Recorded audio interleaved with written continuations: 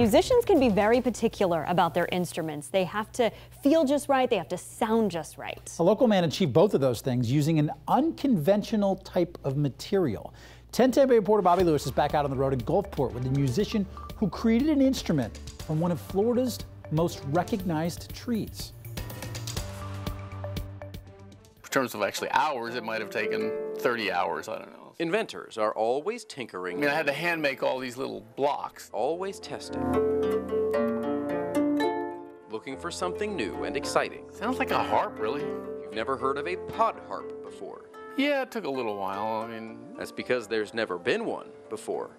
But it's pretty simple. I mean, musically, it's just a simple scale. Not until Berkeley Grimball created one. All the way up. You like palm trees? Uh, I like them a lot now. After moving here from North Carolina, Berkeley noticed the beauty of our local trees. One of the palm pods fell down and I picked it up and was astounded by how thick and tough it they are, these palm pods. And then I had one that was particularly symmetrical and I was just sitting in the backyard one day and thought, well, I wonder if it would have any sonic, sonic qualities and started putting strings on it and then it was just a beautiful inspiration.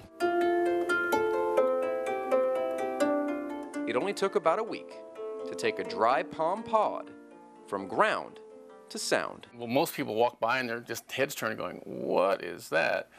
And then they ask, well, can I take a picture? And they'll usually say, well, take a video so you can hear it. Say, oh yeah, I want to send this to my son. There is no denying that the world's only pod harp player is the world's greatest pod harp player. Berkeley's always loved music. He plays about 12 different instruments. But right now, his favorite by far is the pod harp, an instrument he not only plays with his hands, but made with his hands. You could kind of make an instrument out of many things, but the thrill was the fact that it actually sounds so good. This really is such a relaxing sound.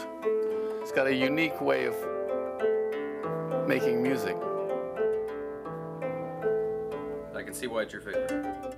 That's pretty cool. And he's been doing this for years and all the different instruments he played. He actually started with the clarinet when he was in fourth grade. Be able to do that out of a palm tree, that's pretty cool, man. He hopes one day to get a group of people together to form this pod harp orchestra.